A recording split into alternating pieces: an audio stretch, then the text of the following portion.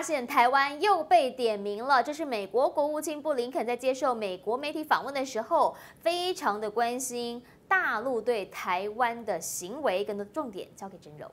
好，这一节美中角力战持续带您来聚焦。美国国务卿布林肯呢，他日前是在接受美国媒体 NBC 专访的时候，他就回应到了对台问题。他表示说呢，华府是很认真关切大陆对台湾的行为。他更警告说重话了，他说呢，如果有人呢是要靠着武力改变西太平洋的现状的话，会犯下严重错误。布林肯更表示说，美国会长期遵照台湾关系法的承诺，确保台湾有能力自我防卫跟维。持西太平洋的和平安全，但是呢，他说呢，如果被问到了，假如说大陆如果真的对台湾有一些武力行动的话，美国会采取军事回应吗？不过呢，布林肯是非常避重就轻哦，他只有说呢，不会对这种假设性的问题做出评论。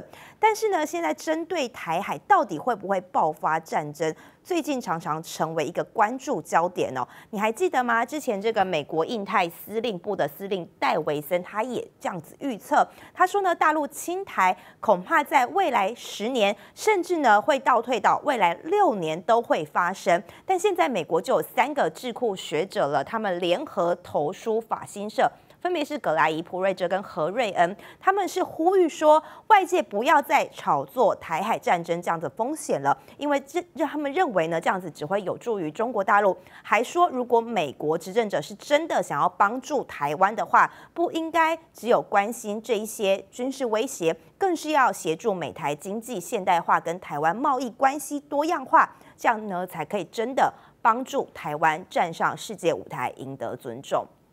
但我们说到这布林肯啊，对大陆的强硬作风，似乎呢从这个美中峰会之后就有一点点改变，好像呢很多人也都想起说他是不是在延续前国务卿蓬佩奥呢？好，蓬佩奥其实他在任内的时候也推出了多项有台政策，包括了取消像是美台官员之间的交流限制，而最近呢大陆禁止这个台湾凤梨进口哦，也是。吵得沸沸扬扬，蓬佩奥呢，他其实就在他的推特上头贴出了这张照片，好看起来很悠闲。他在家里穿着居家服，一边下着西洋棋，一边吃着这个凤梨干。这个凤梨干呢，其实还是台湾的凤梨干，上面有写着中文哦。其实呢，外界就分析说，他好像就是在暗示说大陆被将了一军，很故意哦。外界解读就说呢，他其实张照片呢，当然不是随便 po，是呢想要表达了他的反中的意味。好，我们继续来看到了这个美军呢，昨天有公布了这一张照片，它是呢马斯廷号驱逐舰航行的照片。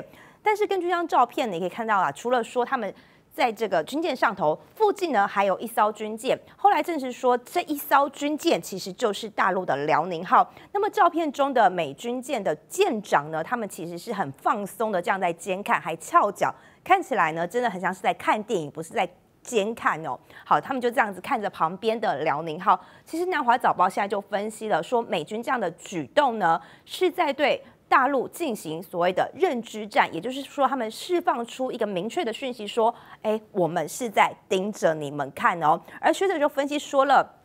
这照片啊，氛围看起来非常的悠闲，感觉就是像是在那种很日常的下午，这样很放松的感觉。不过，其实整个画面呢，都是经过设计布局过的，因为美军呢想要传达的出了。的这种想法就是说，不把解放军当作威胁这样子的讯息给外界知道。另外再来看到的是南海呢，现在情势也是蛮紧张的。菲律宾最近就有大批的船只是抗议大陆，他们抗议什么呢？抗议就是在南海牛二礁一带，这里呢其实是菲国的经济海域，菲国是希望说北京在这里撤船。那么其实呢，目前也没有得到相关的回应哦。那菲律宾的参谋总长就宣布了要跟美国来举行。为期两周的联合军事演习，菲国跟美国的防长就通过电话的会议了。两个人呢都希望可以恢复这个演习。这演习呢去年是因为疫情的关系停办的，不过今年呢会恢复这样的演习，但是规模也会比较小，就一千七百名士兵会来参加。那么双方的防长也就说了，他们的通话的内容呢，除了讨论联合军演之外，当然也会讨论到现在的南海情势以及如何。保卫这个区域安全的发展。再就是这一周最重要的国际大事了，也就是美日双方呢即将举行了峰会。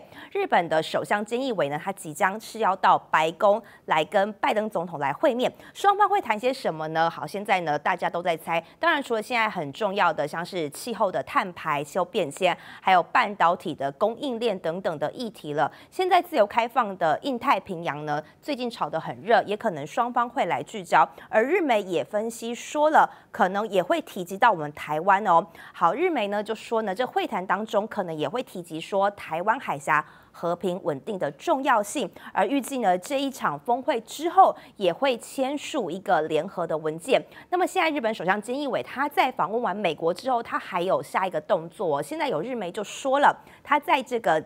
访问之行结束之后，月底他即将要到印度，因为呢，他希望加深跟印度总理莫迪之间的合作关系，也加深两个军队的燃料跟粮食的互通。当然，这一些动作其实就是在牵制中国大陆了。以上就是这一节的美中角力战。